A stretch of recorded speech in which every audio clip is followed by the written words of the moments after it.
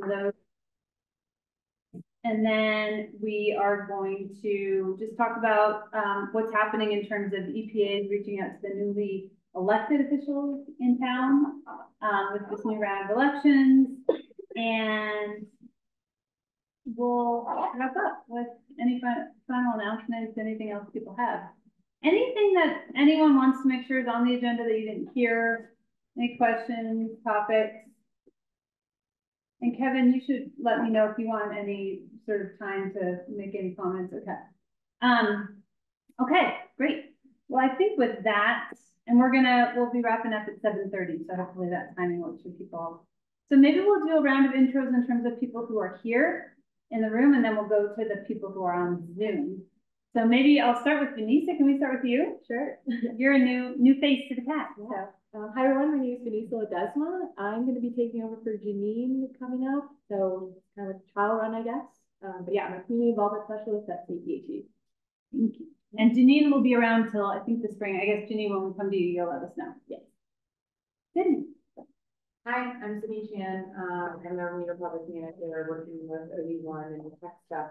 Uh, uh, I'm Charles, I'm the Community Involvement Coordinator, uh, part of the EPA.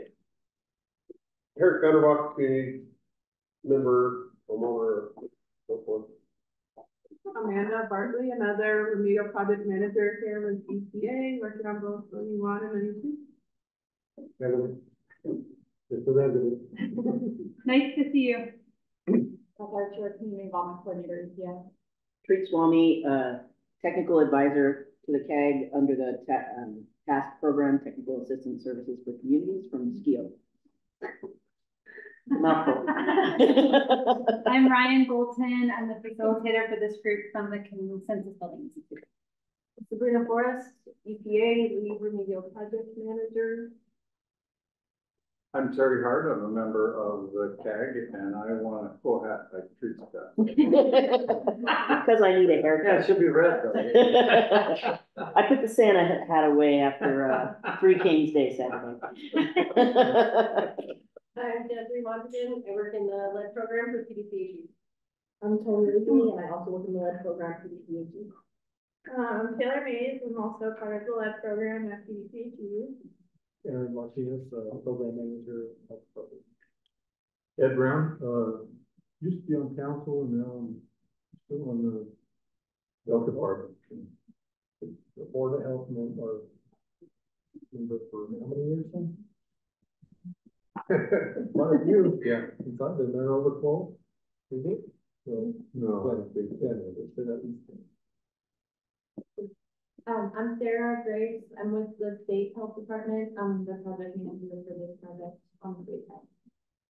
I'm Paul Redfree, I'm a uh, resident in Rockville as well.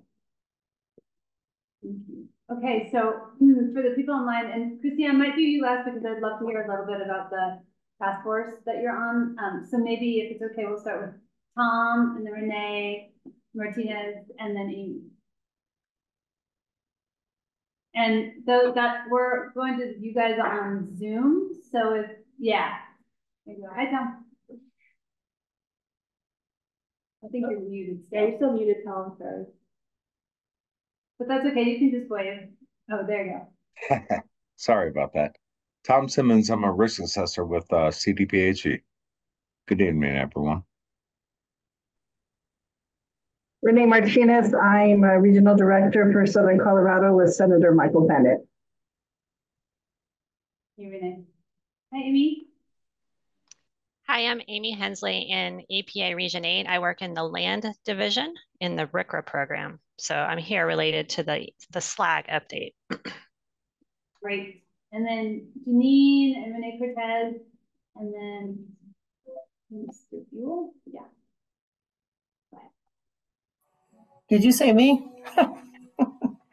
It's a little muffled.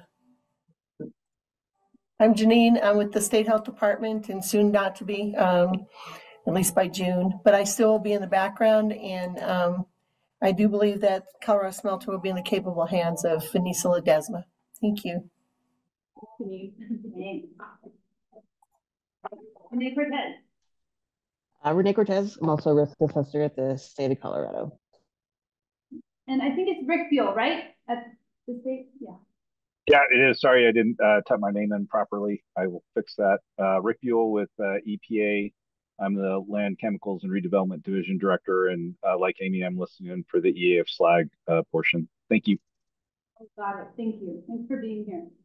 Um, okay, Christina, love to uh, have you introduce yourself and maybe say a word about the task force you're part of. Yeah, so good evening, everyone. My name is Christina Trujillo, and I'm the executive director over at Steelworks Center of the West. And so there's a task force together with various um, couple of community members that are involved that originally started from the revitalization committee that's now the CSRP here locally for the Superfund site, as, long, as well as representatives from Pueblo Urban Renewal, both staff and board of directors.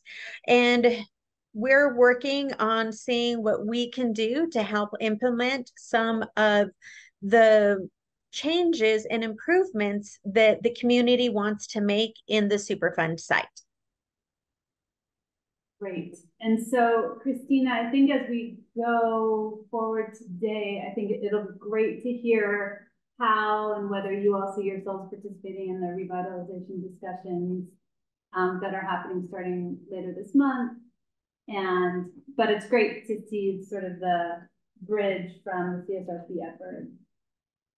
Um, so anyway, if does anyone else, is there anyone else in this group that's been involved in the task force? And Christina, in terms of like, just one last question about the task force. When you say you're working to implement um, what sounds like projects and ideas that came out of the CSRP, is that, what's the relationship to begin, to the work of Begin, the Begin group that was active until recently? So we do have three representatives from Begin that actually sit on this task force with us. And so what we're doing is working with Pueblo Urban Renewal to identify um, zones within the Superfund site to be able to designate them TIF areas. Um, we're kind of at a little bit of a stalemate right now with um, Pueblo Urban Renewal and getting through some of the legal portions of it through Pueblo City Council and the mayor's office to try to get um, certain areas within the Bessemer neighborhood starting off with a TIF zone.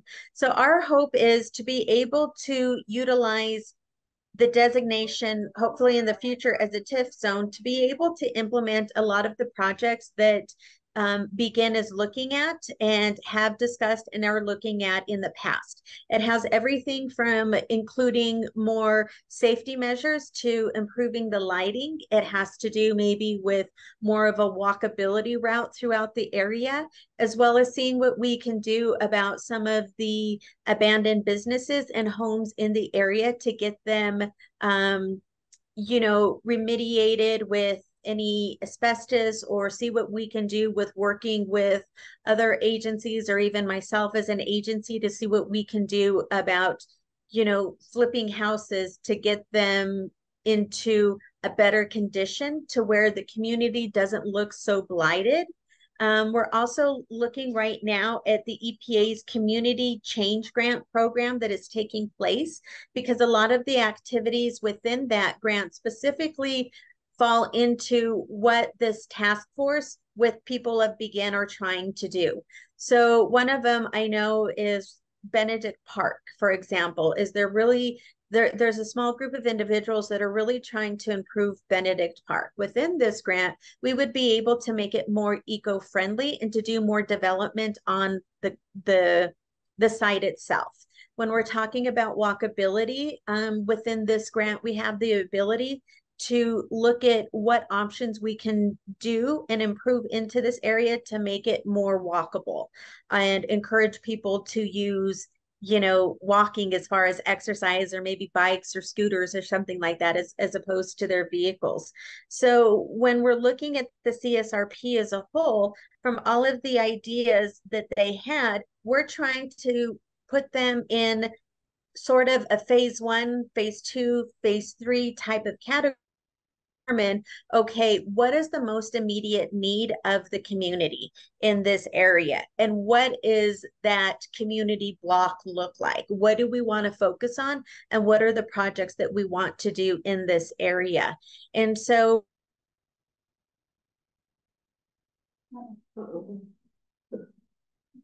Uh, Christina, we just lost you. We froze.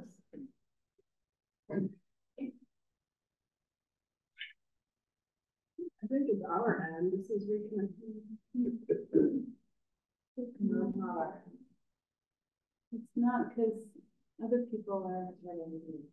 Yeah. Shoot. Sorry, Christina, we lost you for a minute.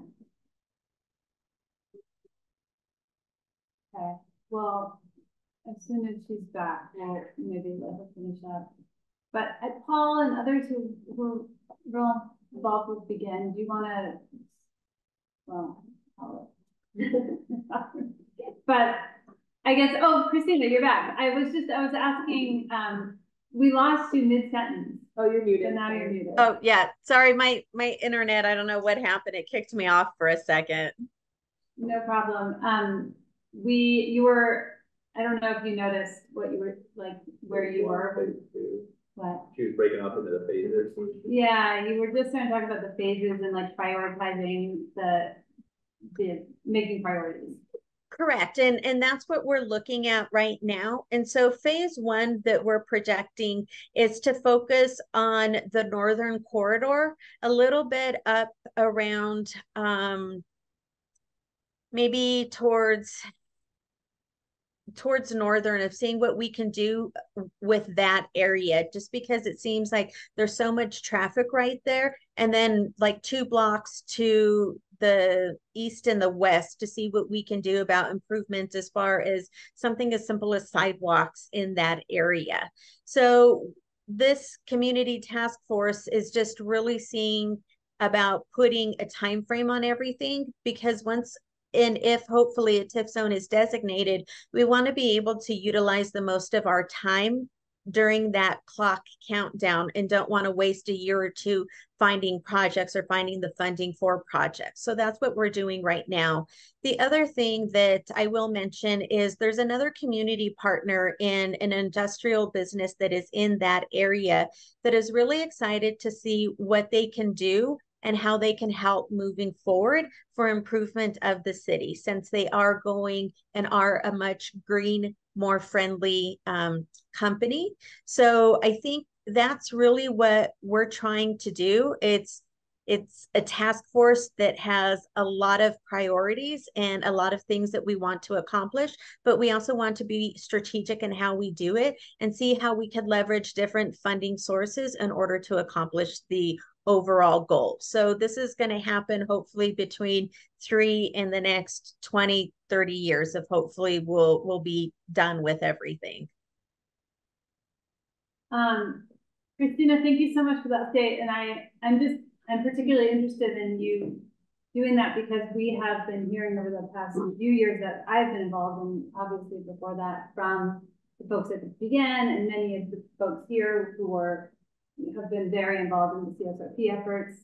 And so we've been hearing updates about a lot of what you're talking about and having discussions about it. So it, it does seem like one of the priorities of this group, I think, has been to connect the dots and make sure people aren't working in silos and very glad to have Exactly, exactly. And and that's it. And that's where I'm going to throw Terry Hart under the bus here in a minute. So, you know, this is where I think it's really great that he's the one who really introduced me to this CAG group and is like, we need to all be working together. That way, we're not duplicating services. And that way, what I know is a priority from what you have or what data you have, we could then use it for our projects moving forward. Um, we've only been meeting, I would say, for like maybe the last half of 2023. So it was just really outlining our priorities and what we wanted to focus on. By the end of last year, we were hopeful to have that TIF designation, but we more than likely will see more traction with that after the mayoral election, hopefully, and see how we could work out some of those legal you know, kind of questions that are lingering out there for everybody. Um, but that's definitely something that I really believe in and what I'm trying to do. And even with my agency as being a nonprofit, we can apply for funds that like the city or Pura or urban or, or the CSRP who doesn't have the 501c3 status can apply for some of these funds to bring these dollars here locally. Um, I believe that as us being a business in the heart of Bessemer and being the stewards of the history of CF&I, I think it's our obligation to carry on that longstanding history of being involved in the community and seeing what we can do to help improve it. And so, like I said, it's all over the gamut from safety to beautification and to walkability and reducing emissions into the area um, surrounding the residents that live within the Superfund site and whatever EPA grants that come down the line to see what we can do about, you know, some more mitigation of maybe some business properties or helping to improve blighted houses or businesses to see how we can reinvigorate the economy locally in those areas. Thank you. I, Sabrina, here. Hey Christina, yep, this is Sabrina Forrest, the uh, lead media project manager. Um, thanks for coming. So was the twenty twenty um Colorado Smelter Revitalization Plan that the city adopted sort of the the starting point for some of the short, medium, and long-term goals? Yes, exactly. That's exactly it. And I think it's taking some of those goals and expanding upon it a little bit more in detail. I think the thing that I brought to the task force is how can we link these all together? How can they, instead of be 20, 12, 15 different projects that we've seen on there, how can they flow together as one big project? And what makes the best sense and how to tackle those um, I guess, goals and the desires of the community. And then looking at now what's most important and what do we need to focus on as a priority. So, long answer yes, we're using exactly that. And then coming up along the way by chance and conversation of other things that we could possibly do that would make sense while we're accomplishing one project that's already been discussed in that um, plan that the city laid out. Does anyone else have any other comments or questions? I'll just uh, go ahead and throw two cents in. A lot of us have had this conversation quite a bit over the last number of years about the importance of making sure that the Urban Renewal Authority is involved in what we're trying to do because what we're trying to do through the revitalization process where we've got the first study out dealing primarily with OU1 area, which is primarily a residential area. Um, and then that obviously means a segue into OU2, uh, which is, uh, you know, the business uh, part of it. Uh, a lot of us argue that, you, you, know, uh, you, you can't cut it in half, but it is cut in half. So we need to figure out how to navigate that. And one of the reasons why we talked about this quite a bit is we have a lot of agencies, particularly on the federal and state level that have potential funding, particularly now, like Christina is talking about, uh, the funding that could help us with an overall budget to drive an overall plan. And, uh, but no agency, no single agency can do it all. And so the theory is, is if we could put this under uh, Urban Renewal Authority, that that can hold the full pieces and parts of the full part, part of the plan uh, we can connect in the various funding pieces, and then that's what we can use to drive it. And the Urban Renewal Authority has this beautiful opportunity, um, if we do it correctly, to do uh, tax increment financing in order to pay for the improvements. And basically what tax increment financing is, it's a mechanism to allow you to borrow money through the government resources bonding, uh, which is, you know, lower income or lower interest rates and they can borrow the money and then they can put it in today into the projects we're trying to do, and then you pay it over time with the tax increment financing. So this is part of the vision of what we had talked about doing oh, somewhere between 100 and 150 years ago when we first started this project. And, and, uh,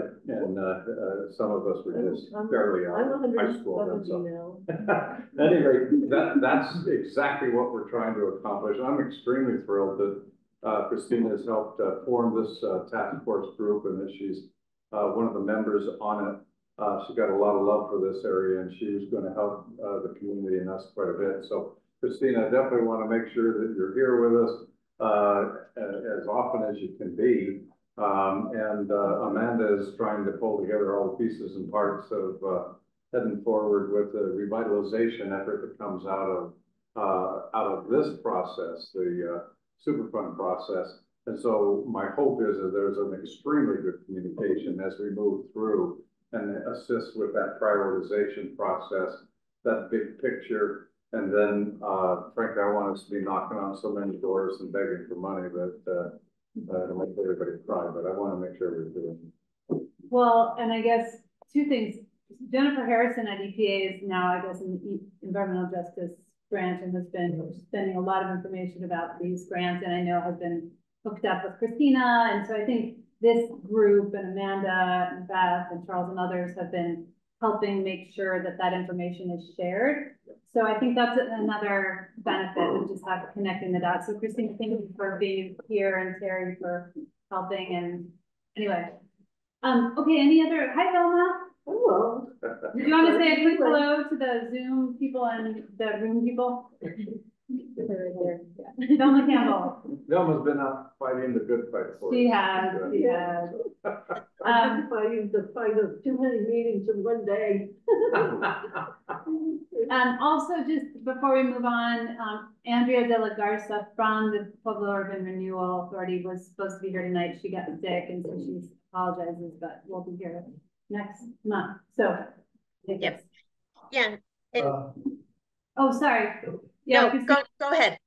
okay, Paul. Um, I just wanted to say, I think it's great that we have a new task force that's gonna kind of be a clearinghouse for all the different efforts that we're making to find grant money and different, uh, financing instruments to move forward our revitalization. Um, as far as urban renewal goes, a good portion of the road is, is left out of the urban renewal, uh, process at this time because of a previous older urban renewal district that they created like twenty years ago. And it's created, um, you know, a big impediment as far as the urban renewal effort goes in the Grove neighborhood.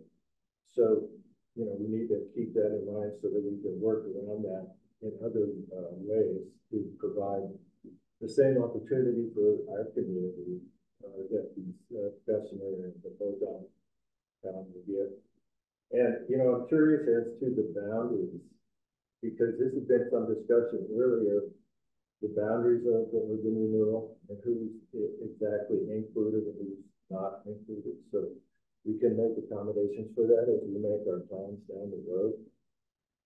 And, uh, I think that's, that's it. I think, uh, you know, otherwise, I think it's a really good thing. I want to make sure that the task force does have a, a representative from the Grove on there so that we can have some voice in that.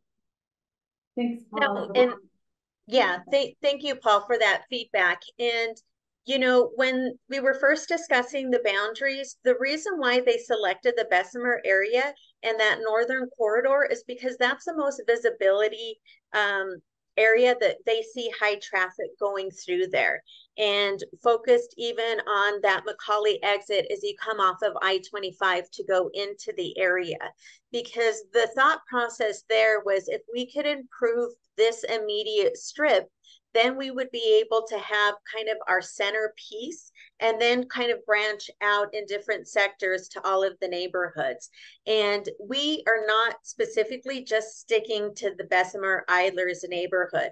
We are uh, going to go into and take the same care and consideration and devotion to each area within the Superfund site. And I, I love the idea that once we get to a specific area, if we don't have constituents on the task force, I think that's where we're going to come back to the table. I would hope so to say, okay, who are, go to the CSRP and say, who are in these neighborhoods? What do we need to do to help improve those areas? Because we don't live there. So I need to have input and this task force needs to have input from the direct people who have businesses and do reside there. So I do want to hopefully reassure you, Paul, that, you know, we are going to get to each area. That's why I'm saying it's going to be like 20, 30 year process of getting there. But just because we start an urban renewal in Bessemer doesn't mean that in like four or five years, if that one's going well and we have projects planned out there, that we can't potentially open up another smaller Superfund site. Um, Pueblo Urban Renewal in discussion with the task force are the ones who developed the zone area. After this meeting, what I can do is email the um, map that's outlined currently right now for the current TIF zone um, to the group. That way you have it. It can be ever changing and it doesn't mean that it's excluded. So say like where my organization is at off of Abriendo and Canal. We're not actually in the TIF zone designated area, but because we share a boundary with the TIF zone area, we can do a little amendment to extend the TIF zone to include a certain property. So if it looks like there's an unbelievable chance that we could help tag along another project that's very close in proximity to the current TIF zone area, that's something definitely that we'll do and be able to take um, a full look at and hopefully take advantage of that opportunity to be able to see what we can do to help improve at the end all of this area and all of the Superfund site.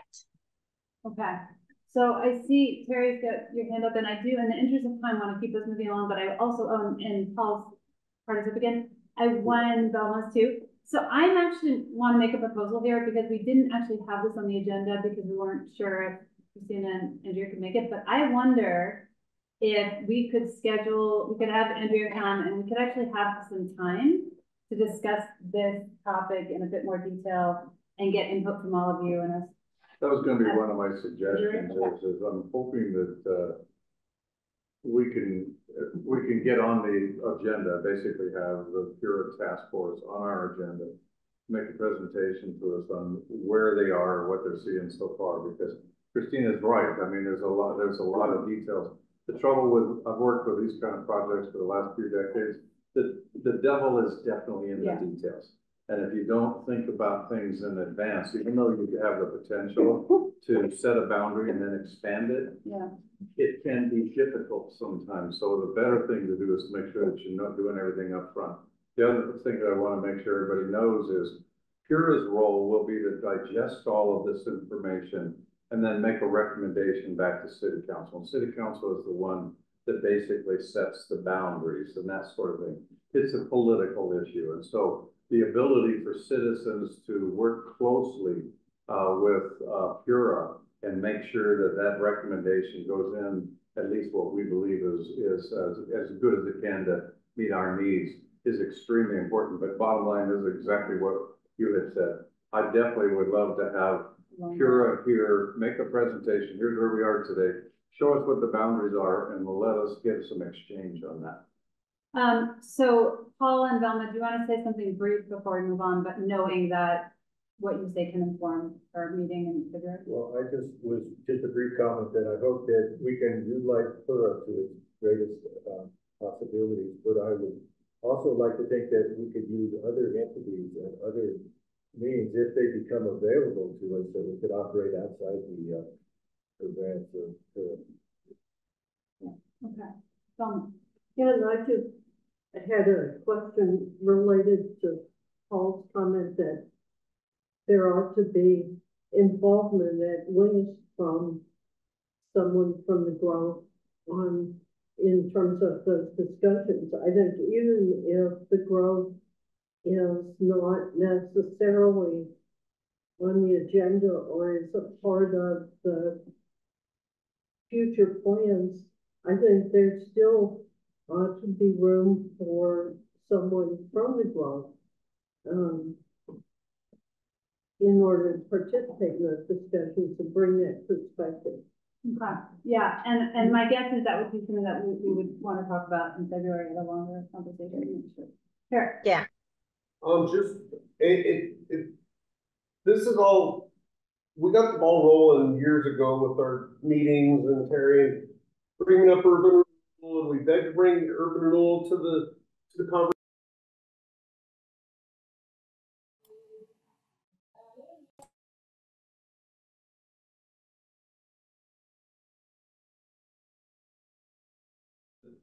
The Eilers neighborhood around here, um, and it seemed like we got it going, we had it all going fine, things were going good, and then the health department pretty well took the ability to, we were, there was a grant through the EPA, so the health department provided us basically a really good facilitator through the whole process, and she went after everything, and everything was great.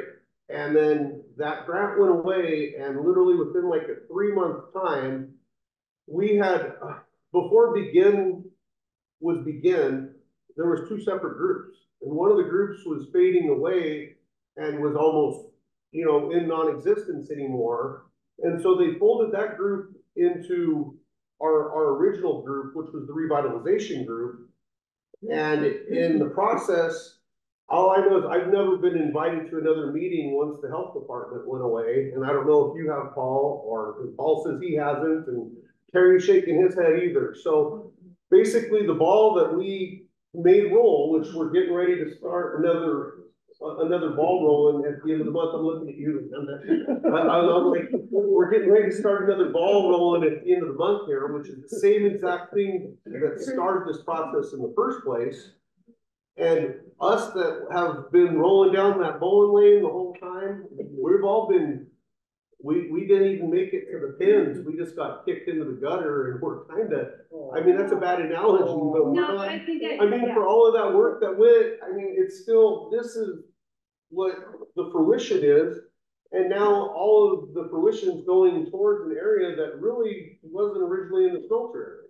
So area, as To- far as the, to- the Superfund side. am I hearing you right that like there's an interest and obviously I think we've heard it also just now from you all who were involved in the very beginnings of this to be engaged for, for folks in the task force to be reaching out to the folks who were involved since the beginning and also making sure that some of these original conversations you had, like Intern Grove was a part of it, have, there's continuity and that there's not. Well, it seems like it might be a little too late because a lot of decisions are already made. Well, and and that's where I I don't think it is. So this is how the members that are involved in the task force formed, according to my understanding, is Dorina from the Pueblo City County Health Department um, still was hosting meetings with the CSRP that I think she just took over the list that she got. So I'm not sure how she got the list of who she sent out the meetings. Before her grant ended she made sure to put it out there to the members of the csrp that if they wanted to serve on this task force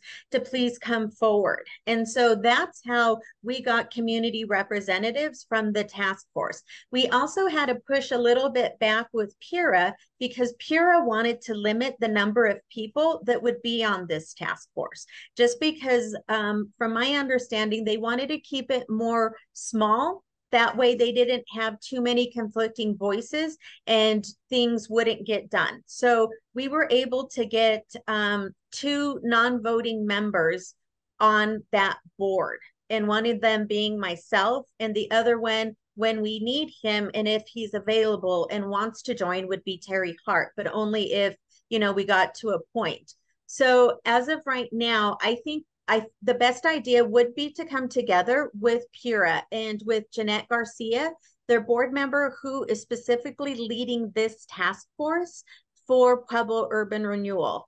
I can assure you that this is on our radar now, aka my radar. And so this is something I've been working towards for a while, not only with just the CSRP, but improvements of what we can do on our end and our immediate area. So I do apologize that if the boundaries that were originally um, identified by this task force are not conclusive in with what some other people may think that are the priorities there. So I do think that that would be a good starting point is to see, okay, what can we do to improve for the next TIF zone or what can we do now with this existing TIF zone since it's still in the process of going through all of that red tape. Um, the last thing that I'll say is that I need to jump off, um, you know, pretty quickly here because it's my husband's birthday and we have dinner plans with my parents. So I'm sorry I won't be able to stay for the full meeting, but please feel free to share my contact information and then I'll be more than happy to call Pura, speak with Andrea, or call Jeanette tomorrow and let them know that I think they need to make it a priority to be at one of these meetings. That way, we all can be on the same page. That way, like Paul says, if there's other resources out there that we don't know about, that we are able to contact them and bring them into the fold. By no means is this an exclusive group that has the final say in everything. We're just trying to see what we can do to actually get um, the TIF zone designated in the area and then start from there and seeing what we can help accomplish from that point. Okay, wonderful. Um, so thank you, Christina, and thanks for reaching out to Andrea and Jeanette. And we can talk after this meeting about whether, what would be a good time, and we should make sure to you know, keep Amanda Bartley close in that loop because there's going to be a meeting at the end of this month that's going to kick off this next phase for the um, that EPA and SPO are working on. So in any case, thank you for being here to help try to connect all these dots. Yeah, no problem. And, you know, um, grab my cell phone number from Terry Hart. I have a special event at the end of this month. It's our main fundraiser. And the best way to reach me now is through text message because I'm about 90 emails deep. So if you need something, text me yeah. and then I'll be able to get back right away for you. Sounds good. And Amanda, does anyone, any of you want to say anything from the EPA angle before we move on from this topic? Before we proceed? Yeah. Okay. All right, thanks. Have a great dinner. Happy birthday. Okay. Thank you. And I look forward to collaborating and see what we can do to revitalize some of the topics that have been there from the beginning and bring them to fruition and see how we could all work to collaboratively together to get things done. Cool. Thank you. So all right. Much. Thank you. Bye-bye. I mean, it does seem very cool in a sense because in the last couple months of last year, in this group, we were talking about what a shame it was that Begins funding was running out and just seeing things floundering or being worried about things floundering. So, you know, the danger is, you know, things feeling kind of like out of control and who's doing what and to, how to keep things. At least we gave our bowling ball to somebody. I think you might be back on the bowling ball soon. I, in the twenty to thirty year, it sounds, she's, she's about, she's about as promising as Kyle Department of Transportation in these conversations, so. But it's one of the things that I definitely worry about is, uh, let's just say, it's important that we're all involved. And that we help guide the decisions as best we can, at least with our recommendations. And, uh, I've worked the system a lot, and that's not an easy process. And so the best way to do it is to make sure we know everything is happening, when it's happening. And if we like it, we should say so, and if we don't like it, we should say so. And if it still keeps going a direction that we don't care for, uh, then we need to rep increase this force. And uh, that's when we would talk to people that had positions like Ed used to have and say, Eddie, we don't particularly care for this. Can you help us out? So th there's ways that we can make sure we don't just sit back and things happen to us. We yeah. need to do our best to make sure it happens as, with our involvement. And Paul, I think you have one final one. It might be a reason to keep a revitalization committee on and beyond tour. Just, just so that regular members of the community that may or may not be selected to participate could still have some input at some point. Yeah, I certainly don't have, and my, my concern has always been to make sure no one's left out. Mm-hmm. But on the other hand is, is I definitely don't want to drag along people who say, well, that's just not my, you know, it's not my wheelhouse, but. Well, I think. I, and Paul, I wonder if maybe when we schedule this with Kira, this conversation, if part of, one of the questions can be room for an advisory group or room for, you know, some way, or maybe it's beyond that process well, entirely. It seems like, you know, we as citizens are giving up quite a bit here, just for uh, any kind of uh, direct participation as we're passing on our license to represent our neighborhood to Because For one thing, you know, I think that there's some disagreement as to current objectives. And what PERS spends their money and time on, and what exactly is the benefit of other neighborhoods. And twenty to thirty years is way longer than people in the Superfund site are, are looking at, I believe. They're- They're looking for something a little bit more within their lifetime. serious business, and my thought has been, if somebody tells you it's gonna be twenty or thirty years, you need to scream like the difference and say, no, we gotta find a way to do it today. Yeah, and, uh, that's exactly what I, I worry about is, is making sure that whatever the plan is, it's what the citizens want. And that idea originated here We've got neighborhood associations and everything else that should be heavily involved in this conversation. And all three of our neighborhoods have been equally impacted. And despite the, the best uh, intentions of PERS, it's gonna be directed at one spot or another. It's not really gonna benefit the rest of the impacted neighborhoods. Which is, it, Paul, I think that it's may be speak up a inevitable. But I think that we should, you know, explore that carefully so that we make sure, you say, that it's equitable and that everybody feels included. Yeah. I, if it's okay, I mean, so are you all, do you like the idea of inviting Christina and Andrea to a February CAG or an upcoming CAG and having a longer conversation and sharing the notes and tenor of the conversation and comments? Does that work? Yeah, it, it's kind of weird the way it happened, but that was the idea was when this task force, we were pushing for Yeah. Pura to do something. So they created this task force, asked for some ideas on who would be on it. And it came, some of the suggestions uh, came from the Begin group. And so then Pura specifically selected who they wanted on. The uh, which I personally have problems with, but that's the way it was done. So bottom line is, is, is Christina a perfect person to be part of our group to help us work our way through this? Yeah. Okay. Well, so we went way over on that because we weren't sure if those, if Christina and Andrea were gonna be here, but it seemed like it needed to happen because there's gonna be this upcoming conversation very soon, and so. Anyway, thanks, everyone. I think one of the things is adjusting these agendas to make room for conversations that seem timely and need to happen, so I hope that was okay. Um, I would love with everyone's willingness to move on. So the other two big things we really need to do tonight at tonight's meeting, one is to hear an outlook from EPA about what's in store for twenty twenty-four. And the other is to go look at the click dashboard, which is, I think, an exciting new tool, and we want to make sure that EPA gets your input. So can we go to the site outlook first? Okay. And I did hear, see a note from Janine that it's a little hard to hear the owl, so when people speak, we, I may ask you to speak up, but just please try to remember that. And to look at the owl, I know it's like, tempting to look at other people, but try to like talk to the wall first. Talk to the machine. Wow. So this is my section. Are we ready? Keep going back. yeah. Are we ready? Mm-hmm. Are you good?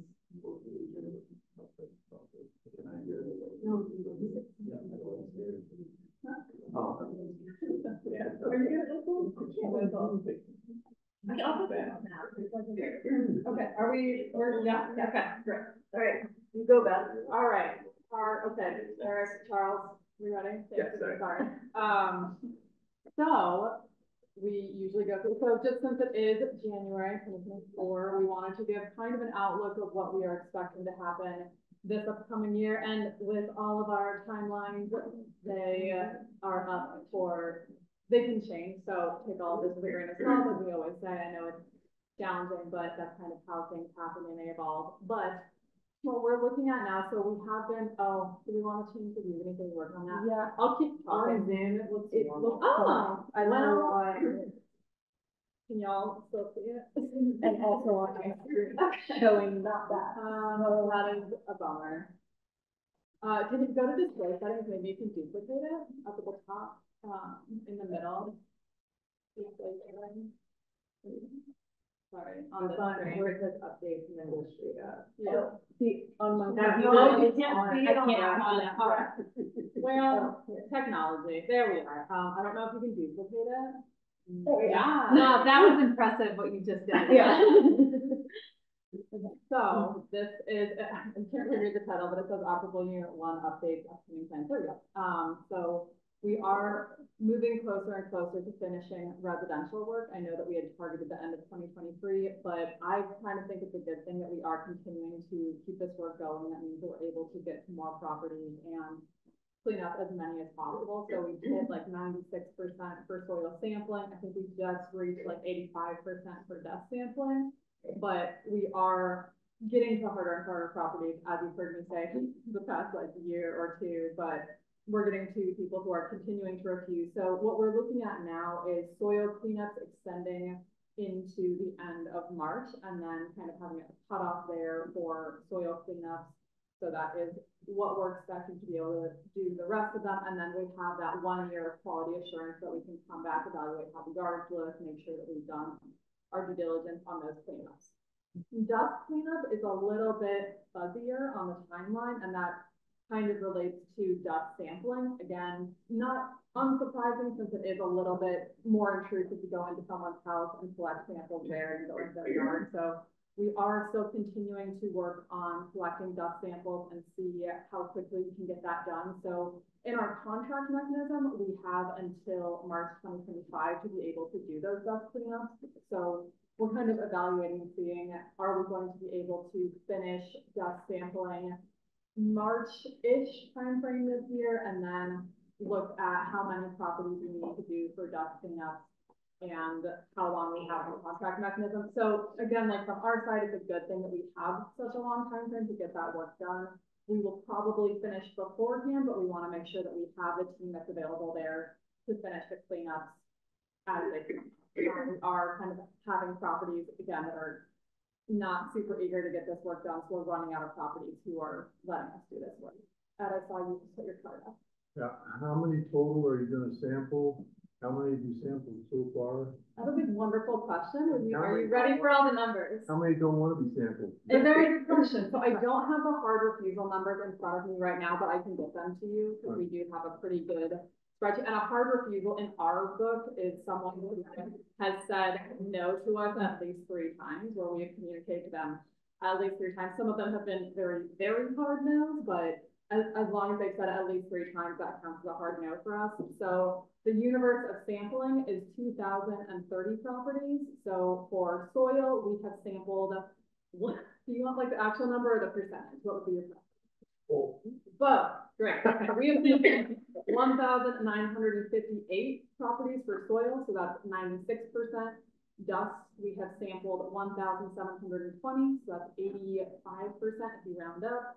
And then on the soil cleanup side, these numbers are estimates based on what we understand about how the smokestack existed, particles filtered down. So for cleanups on the soil side, we're expecting eight hundred and fifty-eight properties are going to need soil cleanup.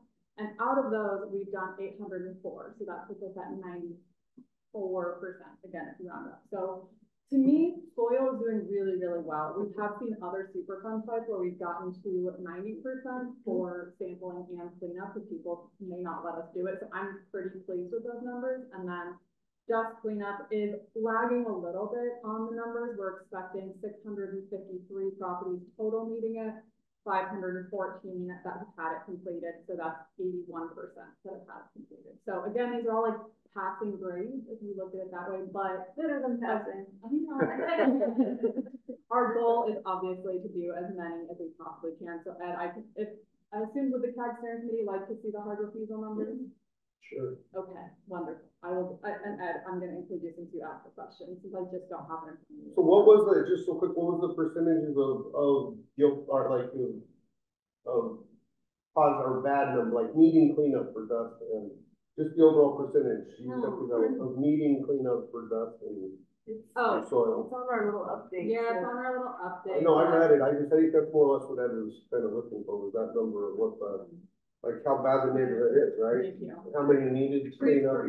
So the, oh, is this, this is how many have actually, who needed cleanup. Yeah. So the, we saw forty-three percent-ish that approximately that needed a soil cleanup and then thirty-five percent of the neighborhood that needed it cleaned. In early days, I don't know if some folks remember, but early days when we were in the smelter and, and doing cleanups closer to the smelter footprint, we were close to fifty percent looking like they needed a soil cleanup, closer to 40, 44 percent or so that looked like they needed a dust cleanup. But as we move away from where that staff was affecting things with fallout, um, we're seeing those numbers decrease. Yeah. I think it's good question. Um, on OU one, so again, OU one, I'm sorry. OU one is operable unit, um, so, there is million, okay, operable unit one is broken into residential and commercial properties. So the commercial properties sampling is continuing.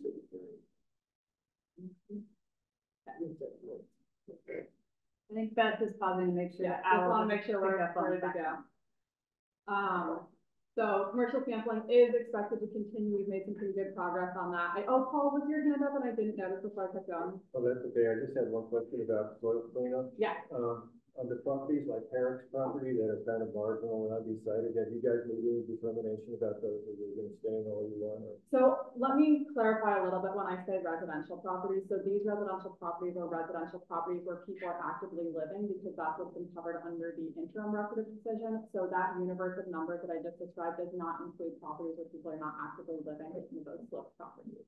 Do you anticipate making, um, a determination on those properties before the March end date?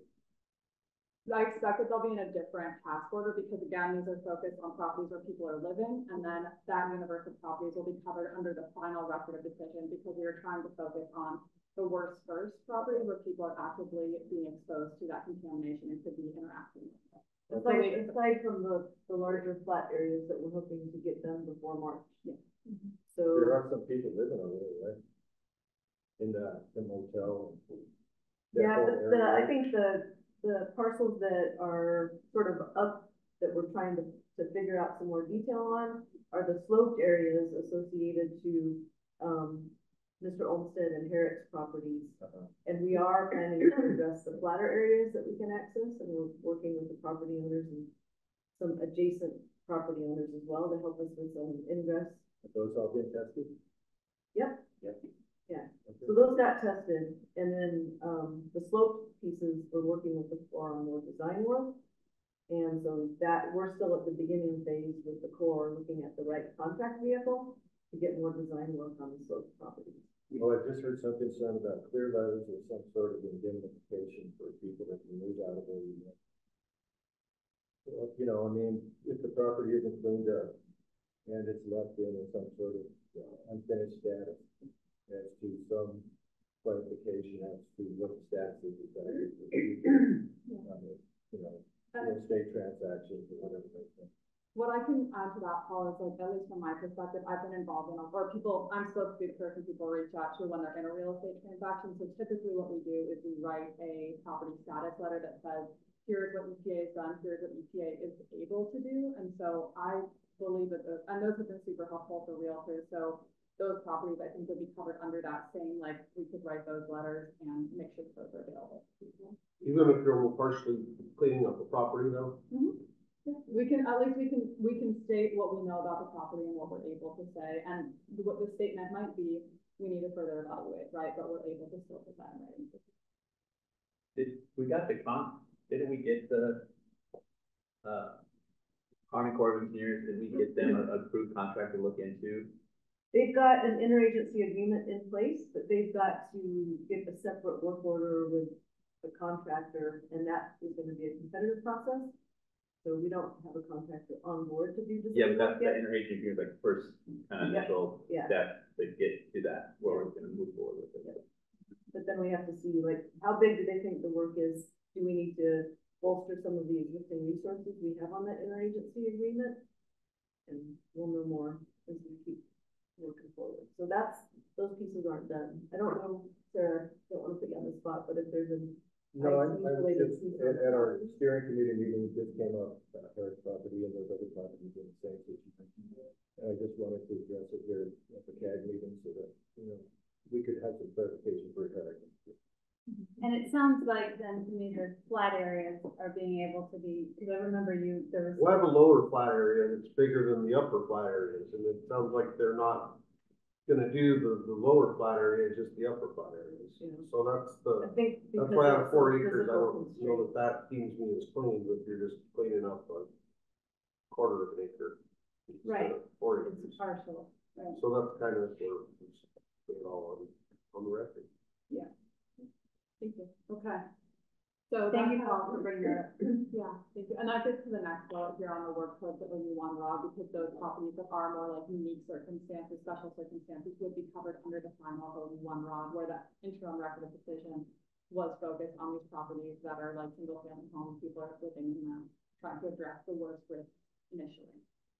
So the study area boundary has been finalized. I know a lot of y'all have heard that we've kind of bumped it out in the past couple years, looking at the evidence where we've seen elevated lead and arsenic. And so we finally have a, finally, but we have like a final study area boundary that is, because we've been calling it the study area for so long, but now it is the boundary for the site. So that's really great. And that is going to help us as we move forward and we look at institutional controls. We've been having conversations with the city and what their role is going to be in that. And so having that final study area boundary is going to help us in the city develop those institutional controls to make sure that the work that we've done remains protected into the future.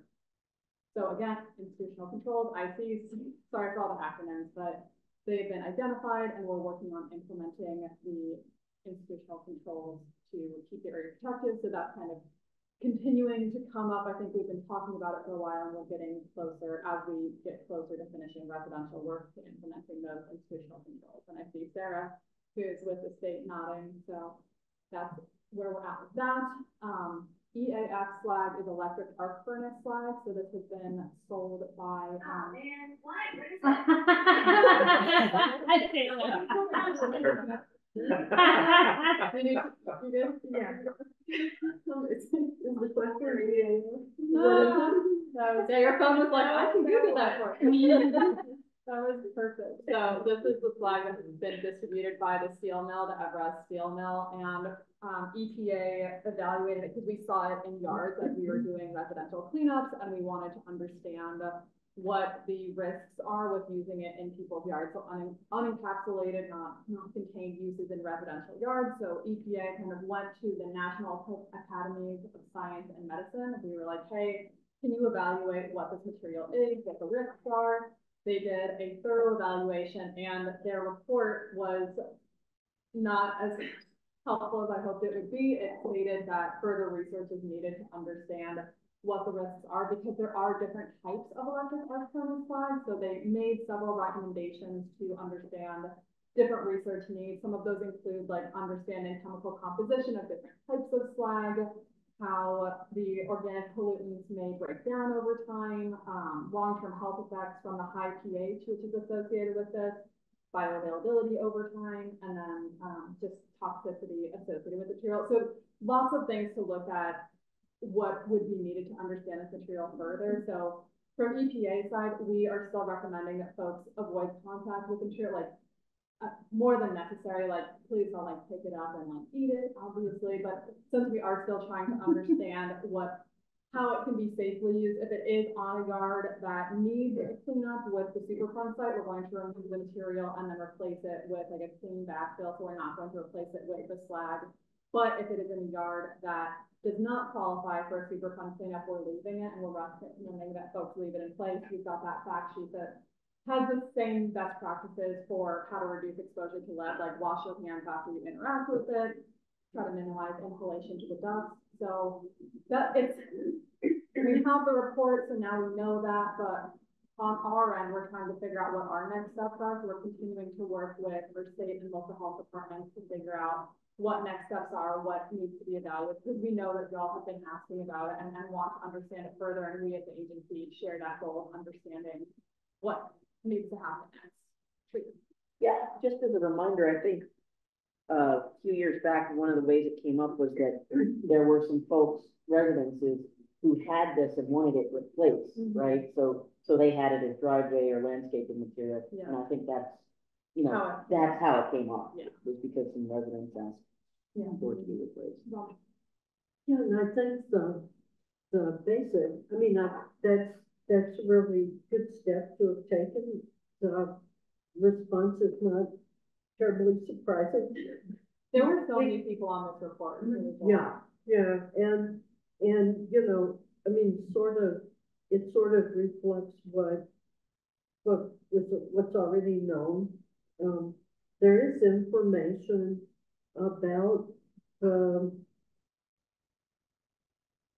um, the EVRAZ, um, and CF&I slag, what, what type of slag it is. Um, but I think the basic message is, as you pointed out, it's not partic- no form of, of steelmaking slag is actually good for you. And, and it can contain toxic materials and the practice of selling it or giving it to people to use for schools and residences and stuff like that. is pretty much fallen into disrepute. So I think that it, outside of yards that qualify for cleanups, I think that's gonna be one of those legacy problems that our public health community inherits here in Pueblo. And I think, Velma, that's, that's well stated, um, and at EPA, like, our recommendations have not changed in my contact with it, try not to interact with it, but we are continuing to look at it, we're really aware of this issue, and we want to hmm. continue, like, it's still on our radar, we're having discussions about it, so as we have any new recommendations, or if we do decide to recommend that people do remove it safely, like, if we have changes to that, I'll come back to that. And you.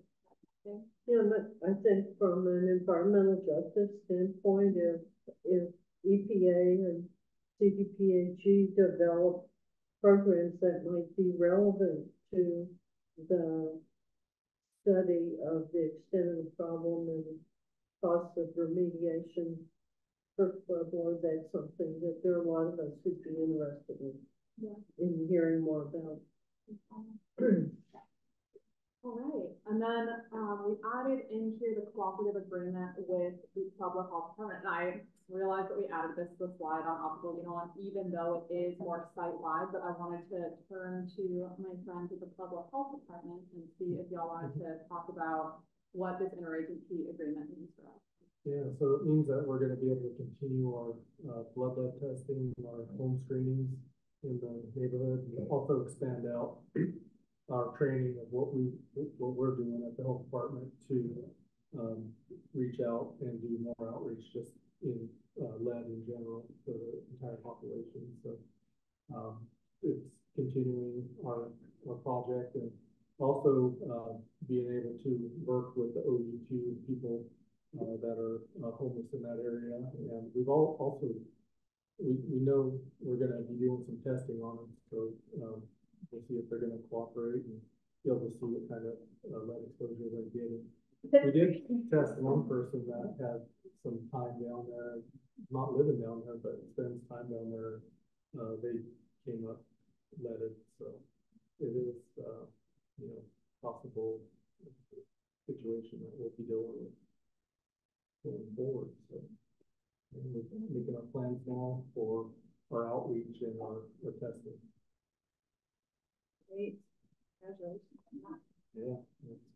Seven more years. Seven, that's the ten. Okay. Um, go to the next slide. Maybe. Okay. All right, so looking at operable unit two, we are continuing to sample. So, um, the little chart over to the left shows a summary of samples that were collected in twenty twenty-three. And I know, I think I've mentioned it to you all, but I'll just flag it again. We have all these like web tools that we've been working on. One of them is called a story map and kind of a map or a hopefully more interactive website that shows what we've been doing at the site. And so one of the components that we're trying to put together for operable unit two specifically is a map that shows where the sampling locations are for all the different um, materials like surface water, groundwater, all that stuff. So I just worked up, or I worked with one of my colleagues on this map. So I think we're hoping to have that out here within this year as well, so you guys can see that stuff more easily. But we are looking at a baseline ecological risk assessment. So this is one of the first types of risk assessments that we do, looking at how um, plants and animals can be affected by this area. Um, we're continuing groundwater monitoring. We're looking at commercial properties within OU2 and getting those scheduled for sampling, so separate from the OU1 properties. Monitoring wells will continue to be installed as boreholes for soil sampling. And then a draft, so after we have all of the data collected, it's going to be rolled together into what's called a remedial investigation report. So we're trying to work up that draft report this year, draft the human health risk assessment. So it's the ecological risk assessment first, human health. And then, I'm like choking on my, really doing great.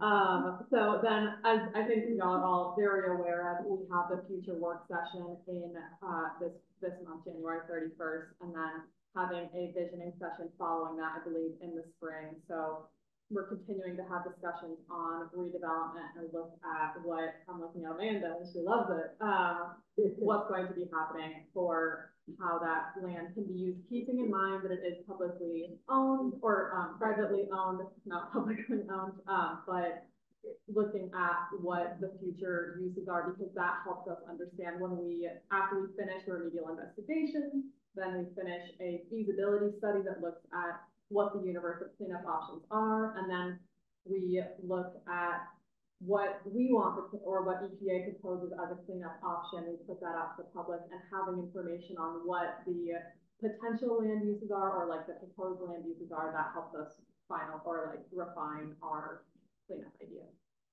So, Amanda, did I cover operable unit two? Yeah. Yeah, and I can talk a little bit more about, um, the purpose of this work session that we're hoping to hold, um, January thirty-first. Um, so we're really looking for the property owners to share their ideas and their goals on future use of the property. Um, we want the participants and community members to understand, um, the local land use considerations from, uh, city officials or whatever zoning requirements there are. Um, we want to discuss, um, the other partnerships that we have in the community for revitalization to help, uh, reach the community goals. And also discuss the role of EPA within, um, future reuse and also the city's role in, uh, future use as well. And then, um, just overall considerations of what the community wants to see for reuse as well. So that's really the, the main purpose of this meeting that we're having, uh, at the end of the month. Thank you so much. And I realize we can't see the folks online right now, but the. Okay, so Kev, Kevin, let's go to you. And also, I'm wondering if we can take this down so that we can see if the folks online. I'm monitoring, there's no. Oh, there's been no, No, okay, yeah, thank you, Denise. Yeah. Okay. Um, go ahead, um, Kevin. The Runyon Lake area, is that considered GP? Oh, you too. Yeah.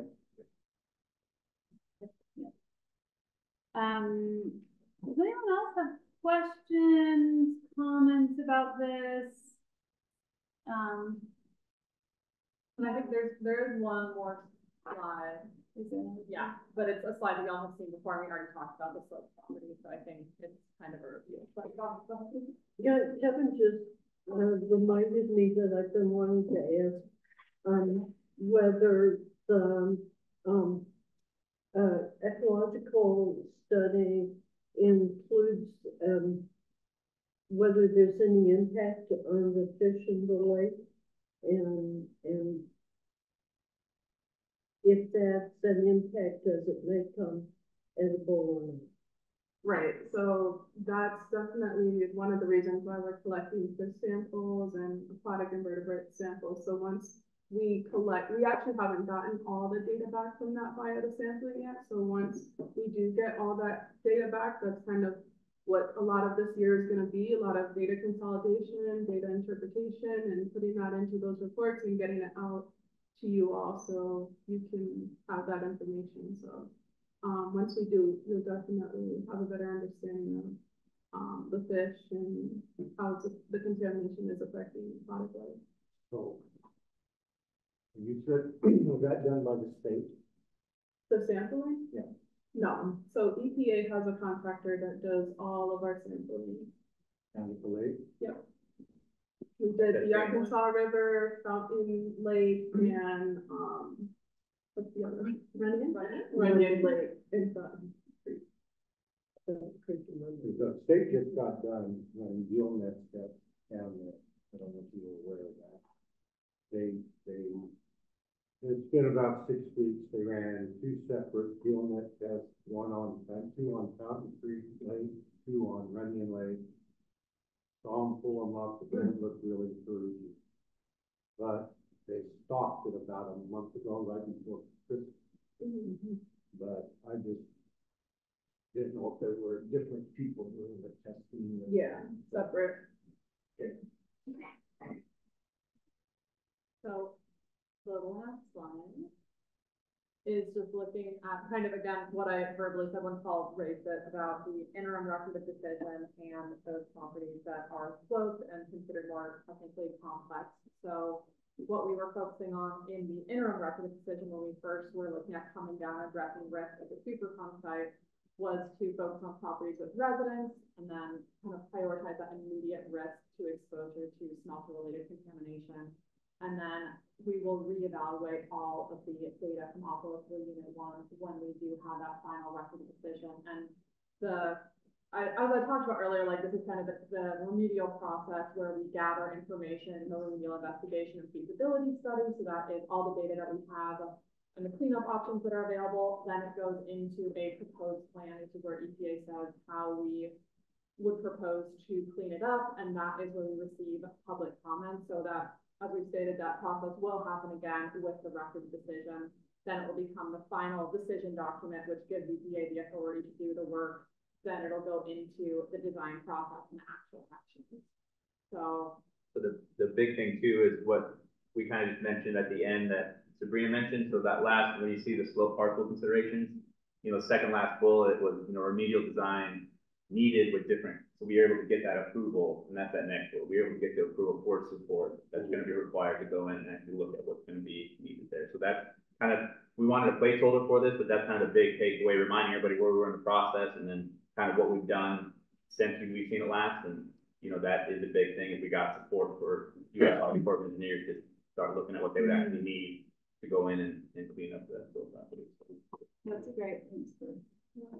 And then the last thing that is not on any of the slides, but I think I might have mentioned, and I'll just, it's a short little thing in passing, but it won't be a short thing to actually execute. So we have the community involvement plan that y'all are familiar with, and I think it's officially five years old. And so that means that EPA is going to reevaluate it. And the fact that it has been five years since we last did it means that we're in a different stage of the process. We're spending more time looking at operable unit two. We're kind of wrapping up on residential stuff. So looking, re-looking at that community involvement plan, kind of drafting up a new plan, doing interviews and understanding how we can best communicate to people. Do we need to cast a broader net of folks who should be in these community advisory group meetings now that we have a different, we're starting to shift away, well, not, we're not done with residential yet by any means, but we're starting to shift towards operable unit two. So looking at our communication strategies, do we need to update that? So that's going to be happening this year as well. And you will all be hearing much more from me.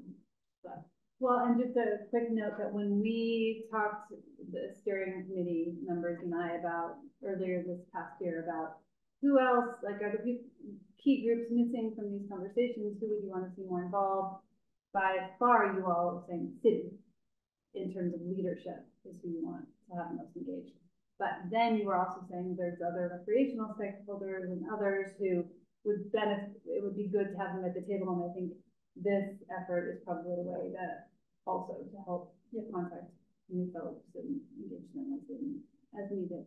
So I think that's it for me. Because I really want to save some time to go through this um this dashboard. Great. So anyone online want to chime in? Any questions before we are gonna shift to looking, um, taking a deeper dive at the residential tracking tool? But before we do any other. Okay, I don't see any. All right, so just a reminder, um, and this, you know, Kevin, I don't know that you probably haven't heard about this yet, but as part of, there have been long conversations in this group about how, what are gonna be the best ways to track which residential properties have needed cleanups, which properties have been cleaned up for future real estate purposes, for land, you know, property values, for all those purposes. And so this is a pretty state-of-the-art new tool that EPA has developed that answers some of these questions because it allows anybody to pull up a property and find out its status. And so it hasn't been rolled out yet, but I think you all are on the cusp of that. So do you wanna? It's been shared with the CAG. Right, and not the- like But yeah, not widely rolled out. So Sydney, do you wanna say anything more about it before you dive in? Um, no, I think you guys should have all seen this before. I did hear some of y'all's feedback and I, um, the person who helped develop this, uh, anyway, I just want to get like one foul swoop of every, what everyone wants. Um, so And I had mentioned to Sydney, so we had a steering committee meeting in December, and all of the steering committee members, Herrick, Velma, Paul, and Terry, I think all said that you were finding the map hard to pull out and see, and that the pie charts were taking up more room and you were, so Sydney knows about that. Yeah, okay, so I guess let's, that, thank you for that reminder. So I guess the first thing was, I, if you guys wanna maybe elaborate on what mm-hmm. you were saying with the, um, with these maps right here. So I guess from my understanding, you were asking if it could be pulled to turn it full page. Um, I guess my question with that was, what particularly were you trying to do that for? Like, is there a way that I could maybe work And, and before we do that, I wonder if we wanna share the link so that people with laptops can pull it up, like. Yeah, I can drop that in the.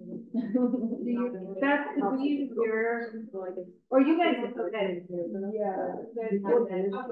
Are you, are the people here with their computers logged into the Zoom? We're over here running hard. We're not gonna have it, you know, If you guys log into the Zoom, it's just really, it's, overall, it's really hard to navigate and to, um, because the, the items on the page are not individually, um, Yeah, in my mouth.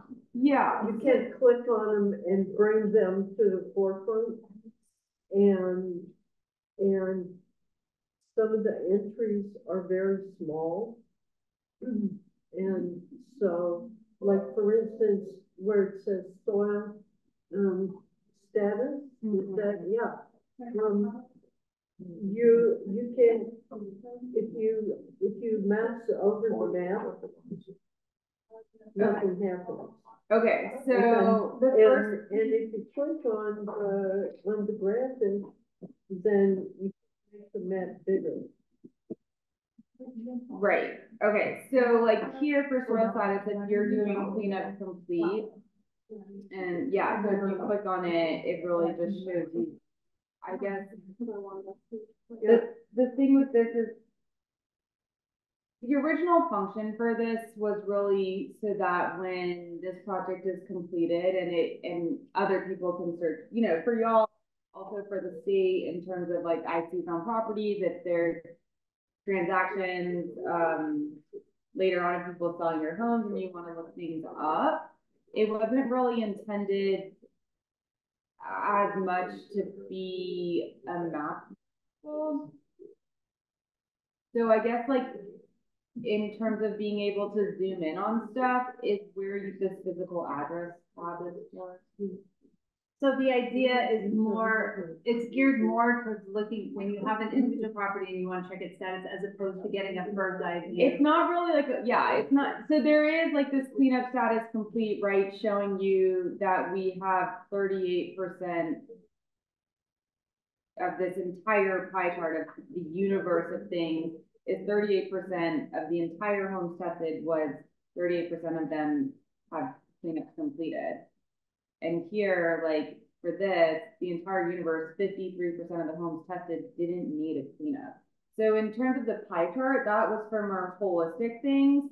And same with, I think, the map, what the map was more intended for is that if you're looking at the physical address right here. Uh, let's just click on a random one, like one oh three, it, Can I share something? Sorry, so I think one of the issues is like with the smaller screen, we're not able to like, you can't search for it. okay, so this is zoomed in more than hundred percent. So that's the problem, is that if you're zoomed in too much. Does it naturally, when you open it up, zoom you into it? So it's not AD, ADA compliant? Definitely. so like. Old person. I wonder. Sorry to the people on the Zoom, because this is gonna be sort of a work session, and it'll be a little hard to follow on, but Yeah, no, I mean,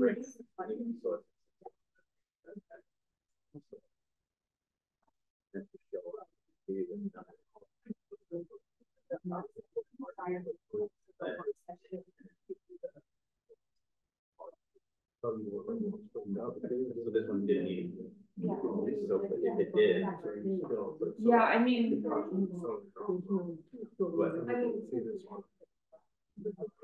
Yeah, I guess, because, but then, then to understand the weighted averages, so that's kind of where they reach out to us. But it should be like. Mm-hmm.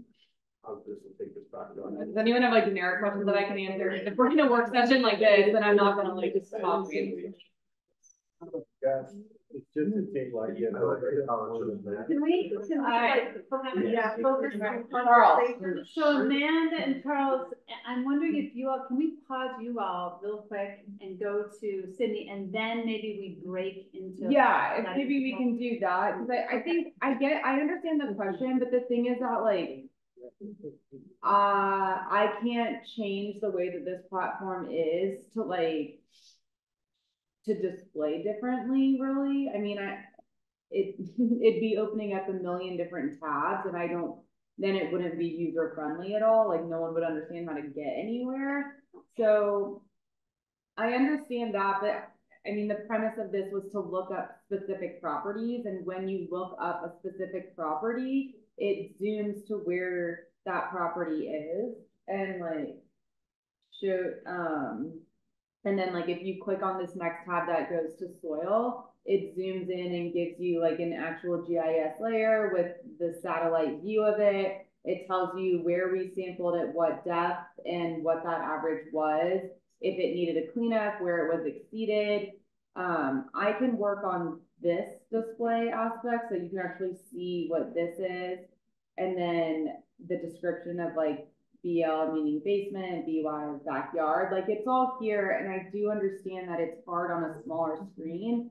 I'm not really sure mm-hmm. how that could be remedied just because of the amount of information, like even if we took out so first off, I don't wanna take out the pie charts because mm-hmm. that's, you know, I think that's valuable information also for the reason of why the dashboard was developed. I think the pie charts are a necessary piece and it's very helpful, like you could do cleanup complete. And then if you click over on soil, it shows you all of those parcels that and that required a cleanup and each individual level of detail if you wanted that.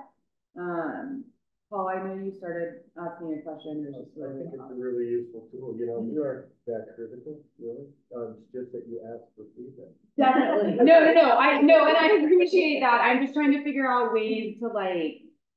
There's only certain things that I can do with it and like, I definitely understand the map, so maybe if there's a way that I can get. Um, that I can get when it's showing all of it. Well, you're, If I can get this to like pop out as another screen, possibly, maybe, that would at least maybe be helpful for y'all to be able to zoom in, cause you can zoom in, it's just, again, it's so yeah, small. and your, your demonstration in the Amanda also was just showing me kind of close up how to do. I was actually, part of my problem with it was that I was, I had the impression, the erroneous impression. And so I was actually trying to access that information by mousing over the properties on the map. Oh, yeah, no, that would be And horrible to try and do. Yeah, yeah. And I did hear that you guys like here where it says search for PC code obviously isn't very helpful for y'all. So I'm gonna see if I can change this to search for physical address. And then that way, cause you can do it. It's still there. Yeah, I mean, it's still right here. If you click on this aspect of it, the drop down menu is there. Um, we had done it as PC code because in the universe that we're working in with the contractors and the state and everything like that, we search by PC code. Um, so maybe because this is the public facing one, I can see if I can change that to be an address search instead. Um, And it seems like it grabs everything, so if you put It in, does. like, you know. I think Yeah, the one but that came up the other day for five oh eight Hill, it'll look for all five oh eight and everything on Hill. Charles and Eric have that. So, um, so, so you, do you mind like showing us like search for an example property and then we can all do that, like search for property? Cause I think that, would that be helpful for folks, so we can all like. I think it would be helpful, cause sometimes it, it, you get a list with a bunch of green checks next to it, and if you really wanna focus on one property, you've gotta X out all the other yeah. so- check marks and focus on. So like Hill is a street, right? And so like it automatically pulls up all of these. And so if you wanna just look at the entire street. You could do seven twenty-one, I own that one. So seven twenty-one Hill? Yeah. So everyone look up seven twenty-one Hill. Okay, perfect. Thank you for that. So here, when you search Hill in general, sorry, let me just back up for one second. When you search Hill in general, it'll pull up all of them. If you wanna see the whole street, then like you click on them as you go. But since Eric generously showed us his, we'll click on just seven twenty-one Hill. Hit the check mark. And see how it, this is your main page, so it's gonna still have the pie chart, it's gonna have this. But no cleanup was required, right? So, but if you go to the soil tab, it actually zooms in to give you that satellite layer and show you exactly what your results were. Within zero to one inches, one to six, six to 12, 12 to eighteen, for both arsenic and lead, which is the contaminants of our concern. Um, The one thing too, that you don't have to double click, you just click once on, on, on the whole web page, and that, that initiates the initial action. Mm-hmm. So if you select a property, just click it once, you don't need to double click it, just select it, that, you'll get that green check mark mm-hmm. of, of success. So then you check yes on the document, that'll do it for you. And I think like as a double, like just to make sure you're looking at the right thing, right here, the second tab right here, it's showing you the physical address that you're looking at, right? And so like, I also just clicked on the duck tab and now you can see that like Eric us inside his home to test and make sure that like the dust samples are appropriate and don't need a cleanup. And so we can see that. The as- basement looks really scary for lead, correct? Um, Yes, it's a, no, it's not. it's- under, under dust, yeah. Yeah. It's a non-living, but yeah, yeah. We, so that's interesting. It's got egress, it's got, it's got, I've got to walk out the door to leave the basement, so. So part of, part of that, no, that's a good point to bring up, and I do, I'm glad you said that, is that like, we do have these cleanup criteria here on the cleanup criteria page that also shows y'all in large, like what the color scheming is. Um, and like here, cleanup required is anywhere that arsenic is above a thousand or lead's above nineteen eighteen, right?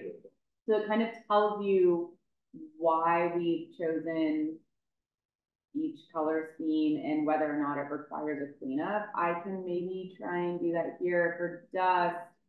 It's three hundred and fifty for lead or two hundred and seventy-five.